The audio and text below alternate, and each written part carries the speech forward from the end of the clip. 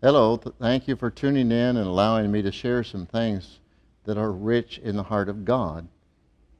2 Samuel chapter 22 and verse 33, the Bible says, God is my strength, so God is your strength, and my power, and your power. And he maketh my way perfect, maketh your way perfect. He maketh my feet like hinds' feet, and setteth me upon high places. God wants to set you on high places. Just imagine that God's word is truth, because it is.